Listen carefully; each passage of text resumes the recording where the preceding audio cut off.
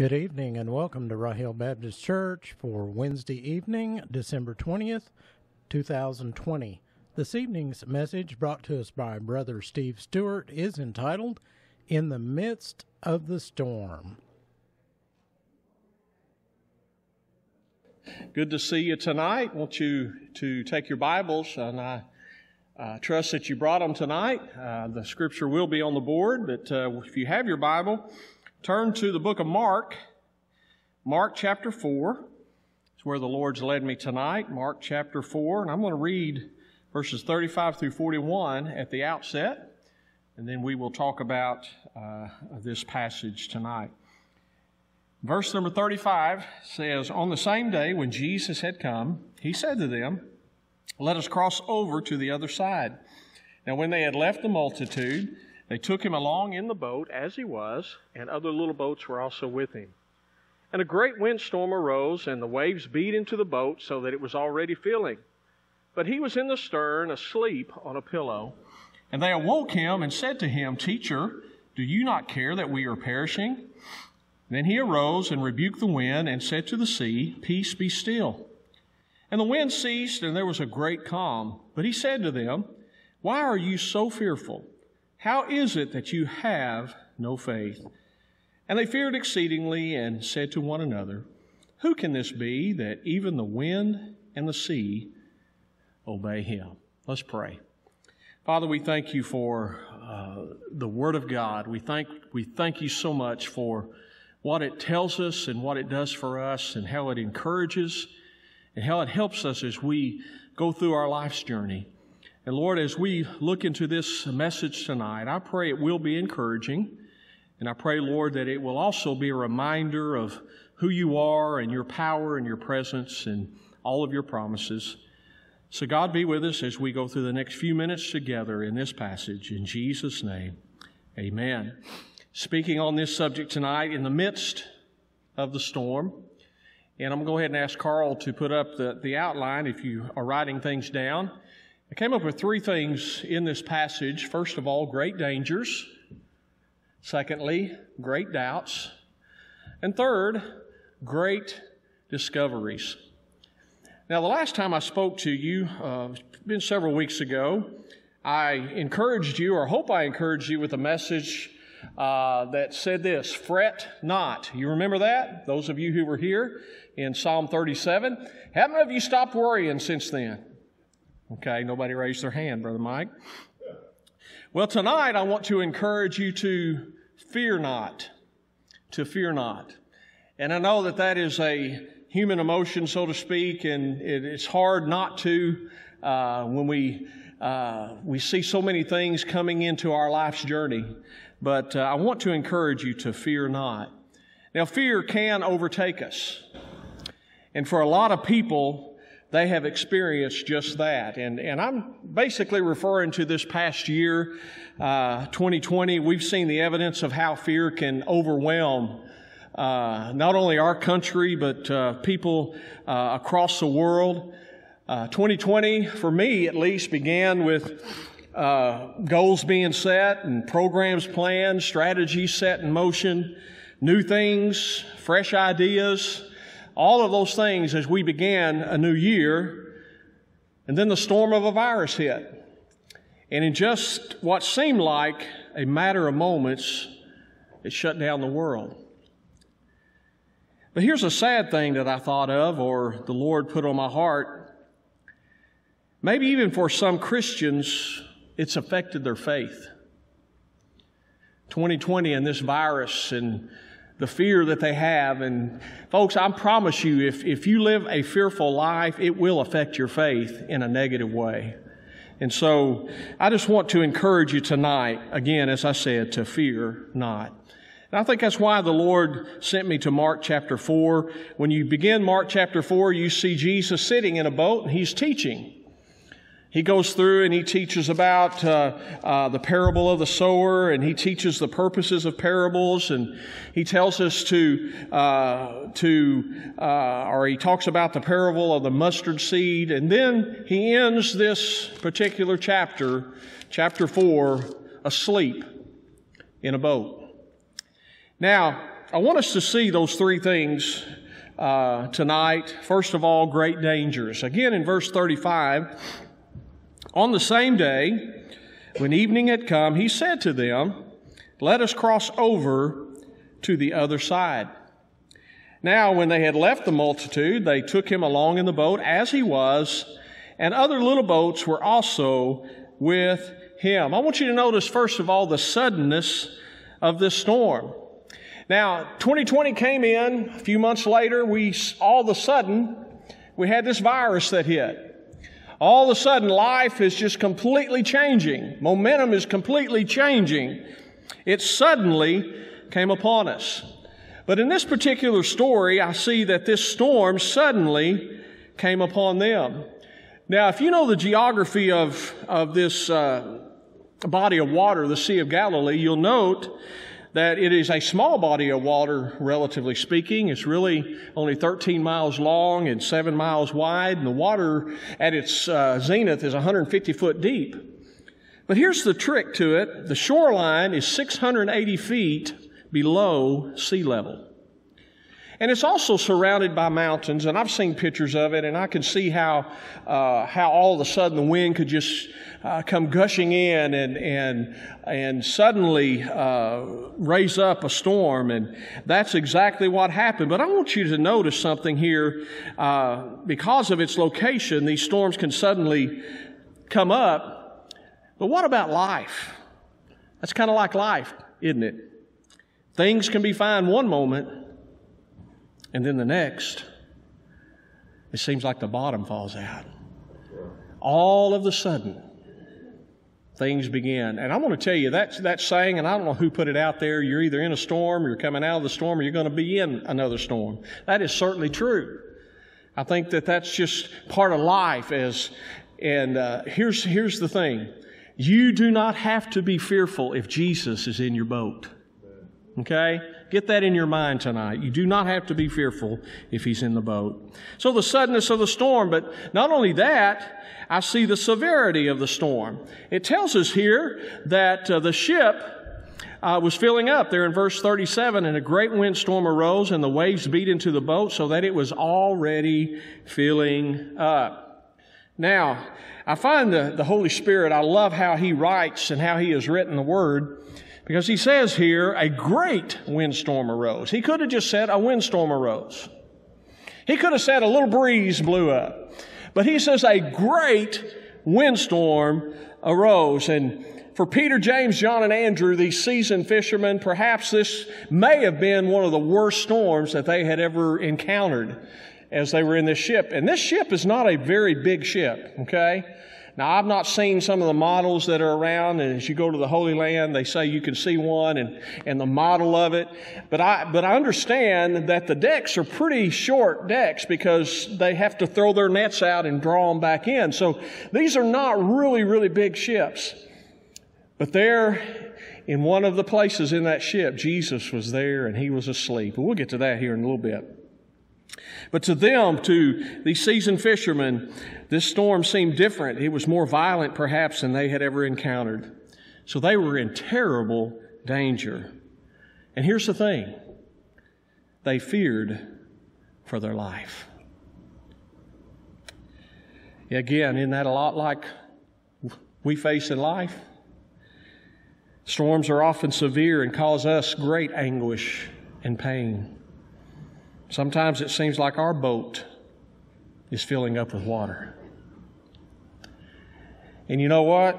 When it starts filling up with water, what does it usually start doing? starts to sink, doesn't it? And so we've got to understand that these storms can be severe, and many times they are severe within our lives, just as it was to the disciples there. But not only the severity of the storm and the suddenness, but how about the source of the storm? And I want you to think about something. Rough weather should never surprise us. Now, you hear the old cliche, you live in Arkansas, just if you don't like the weather, wait 10 minutes. You know, it'll change. You know, Arkansas has some rough weather. I'll never will forget uh, when I was 13, I went uh, deep sea fishing. Anybody ever done that? You know, a 13 year old should never go deep sea fishing. because I had no clue what it was about. You know, and you're going up like this, and I spent my time sick instead of fishing. And uh, I can imagine uh, what they were feeling like on this particular boat that particular evening. But I want you to, I want you to note something that, that I found in the Word, and you have heard this before. Listen to this. Storms must come our way if we want to live a godly life. You say, well, how can that be, preacher? Well, let me, let me give you a scripture on that. 2 Timothy chapter 3 verse 12 says this. Yes, and all who desire to live godly in Christ Jesus will suffer persecution. You get that? If you desire to live godly, you're going to suffer persecution. But the question is, where did the storm come from? Was it natural? Did God send it? Was it satanic in origin? And as I was reading this and looking at commentary, everybody had a different opinion concerning uh, this particular passage. But all I know is this Jesus was aware that the storm was going to happen. It didn't take him by surprise. And he still went to the stern of the ship and went to sleep. I want you to think about that. But sometimes storms do come in our life from various sources. Number one, Sometimes storms are our own fault. Now think about Jonah for a minute. You remember Jonah? God says, I want you to go. What did Jonah say?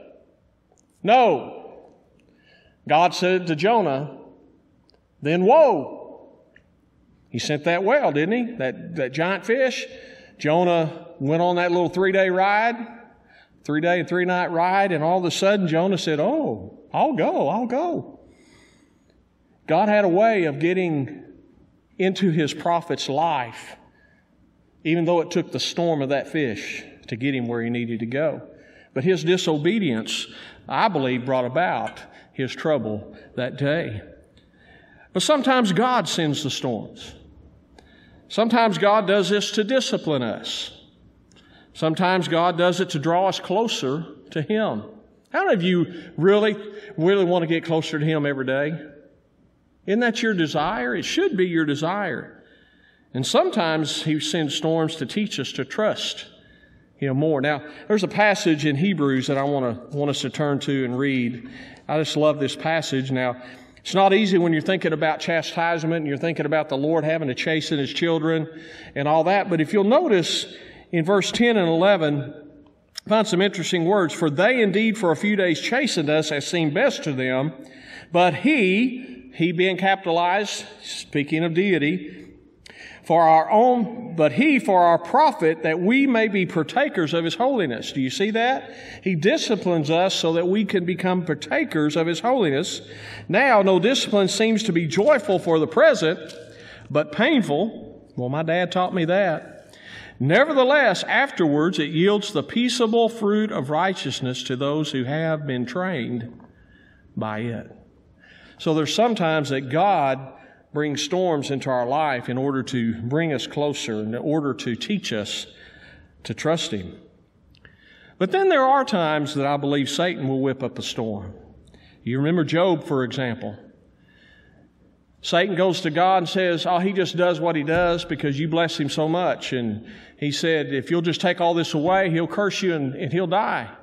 And God said, You could do anything you want to him, just don't take his life. And so the devil just whipped up a storm, one storm after another in the life of Job. And um, I think the thing we need to take from that is this that we have a real enemy out there and he is going to and fro and using his demonic armies to tempt and to try to destroy each and every Christian that's here on the face of this earth. But it says in 1 Peter 5 8, be sober, be vigilant, because your adversary, the devil, walks about like a roaring lion seeking whom he may devour. And that is his mission, I believe, his main mission is to kill, to steal, and to destroy you as a Christian. So there's great danger out there. The disciples found themselves in the midst of that. But I want you to notice, secondly, there are great doubts. They had great doubts. Now look in verse 38.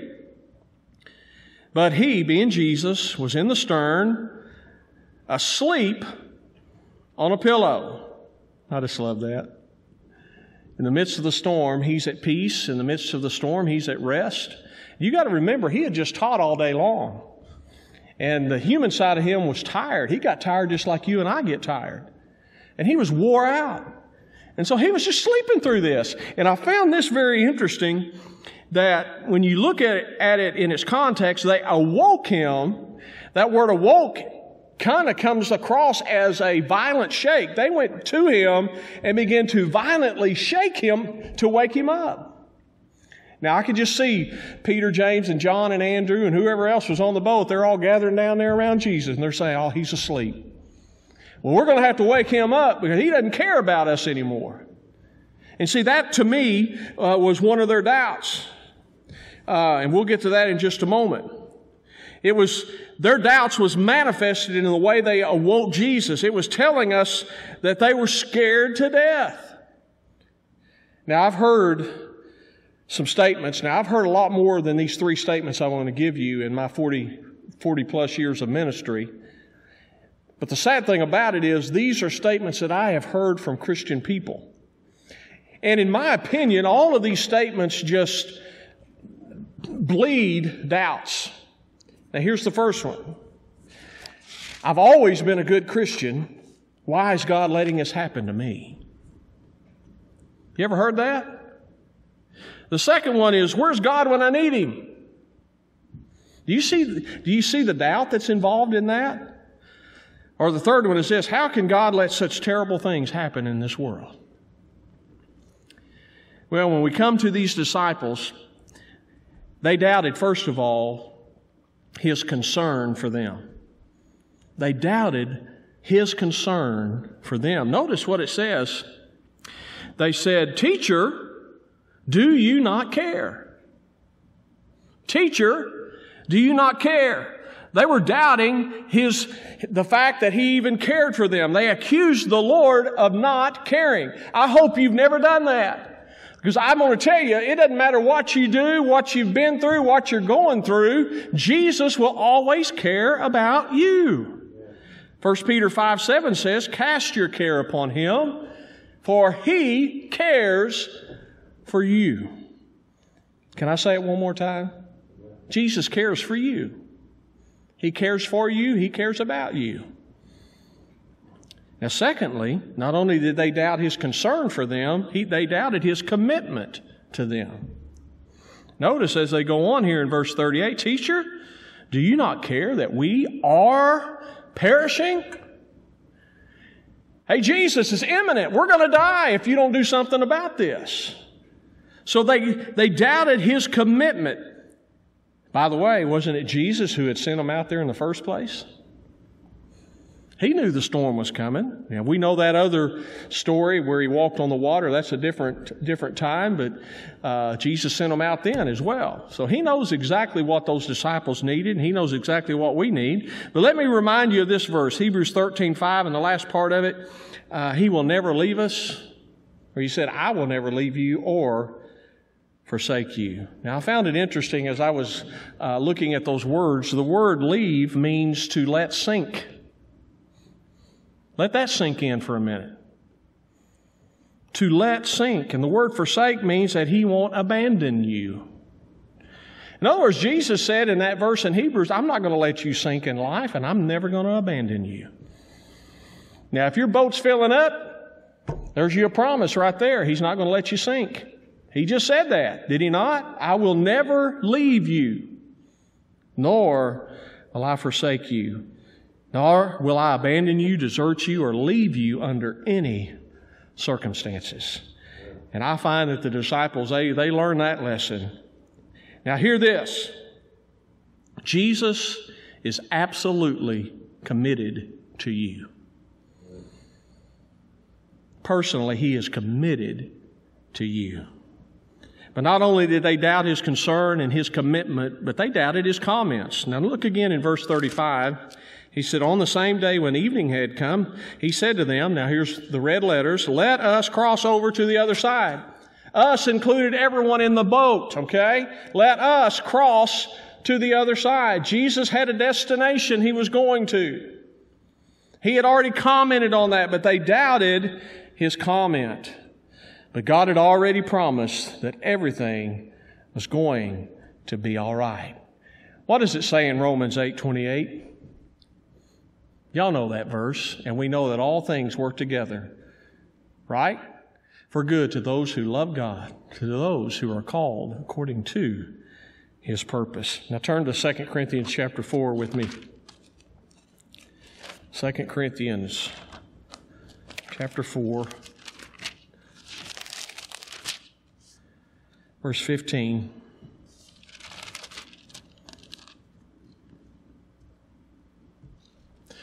Says, For all things are for your sakes, that grace, having spread through the many, may cause thanksgiving to abound to the glory of God.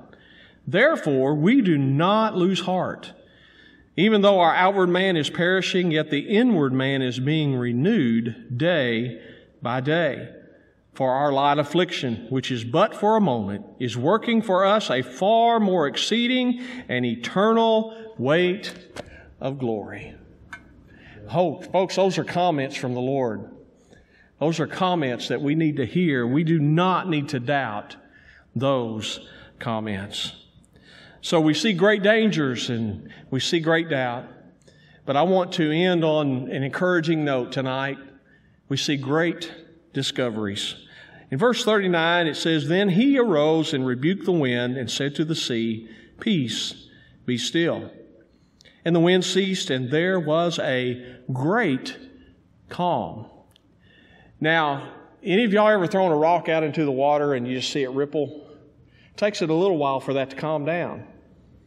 But I believe that immediately when he said, Peace be still, that particular sea was just like a sea of glass. It just calmed down. What did they discover?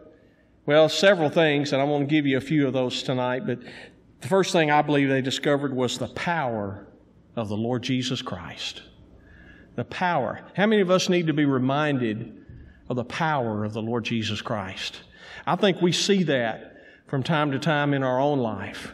And when we go through the storm like we've gone through in 2020 and we don't know what 2021 is going to bring, that storm may continue all through the year. We don't know. And it may be a different storm, but we know this. We will be able to see the execution of the power of the Lord Jesus Christ in our life.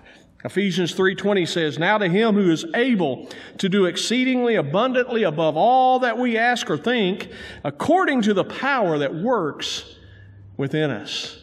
Oh, listen folks, he is able to go above and beyond all that we ask. In other words, if you're writing stuff down, write this down. Your storm is no problem for Jesus.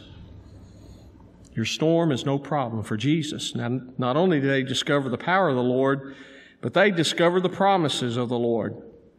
Now, it says in chapter 5, verse 1, then they came to the other side of the sea. That's what Jesus said. They were going to go to the other side, to the country of the Gadarenes. Now in 2 Corinthians chapter 1 verse 20 it says, For all the promises of God in him are yes, and in him amen, to the glory of God through us. Now what can you take out of, uh, out of a verse like that? What can we, what can we glean from that? Well, I believe you can glean this. God is still good at his word. God still keeps his promises. Now think about it. He told the disciples in John chapter 14, let not your heart be troubled, right? If you believe in God, believe also in me. In my Father's house are many mansions. If it were not so, I would have told you.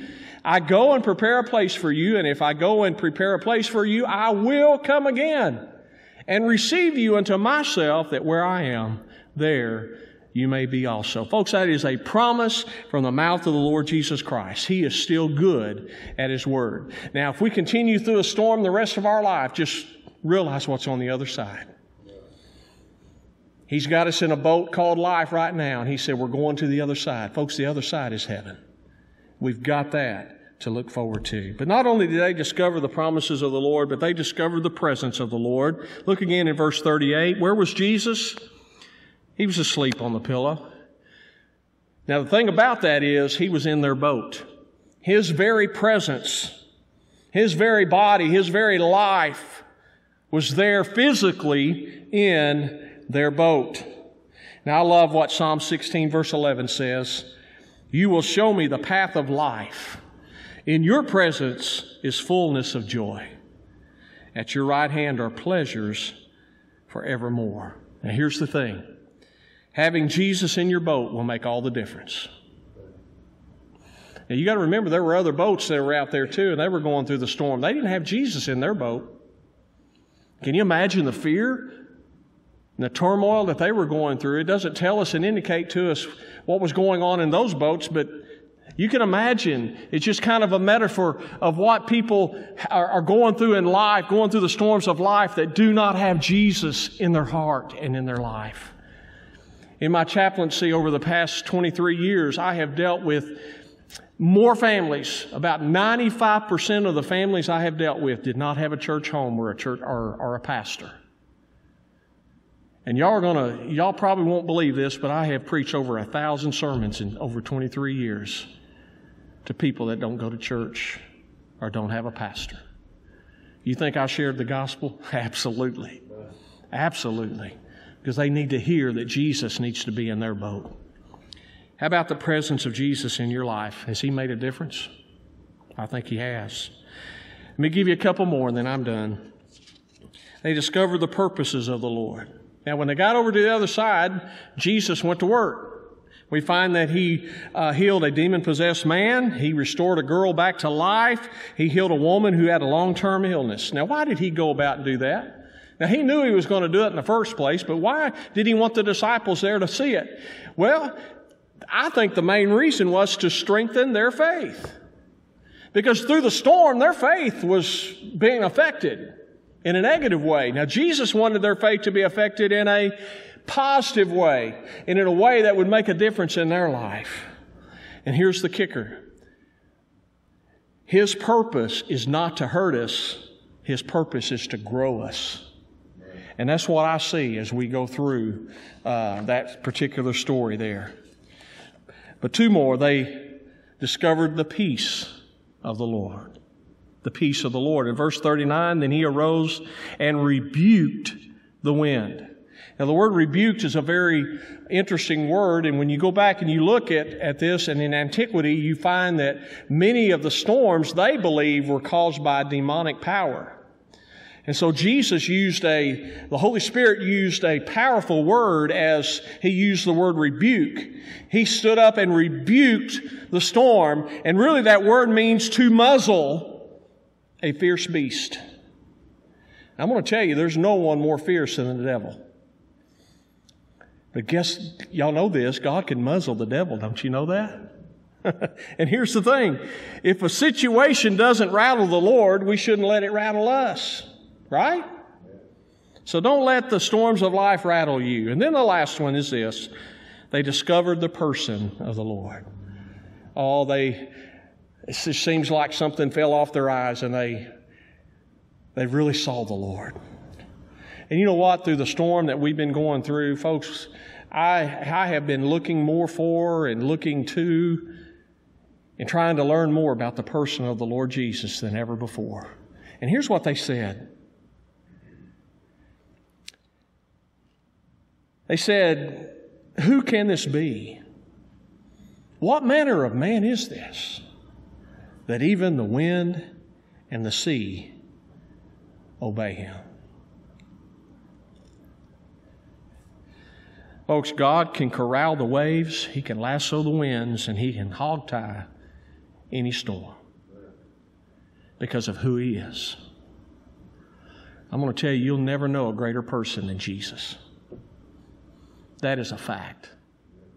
I hope that, that, that you look at me and you say, hey, Steve's a great person. Brother Mike's a great person.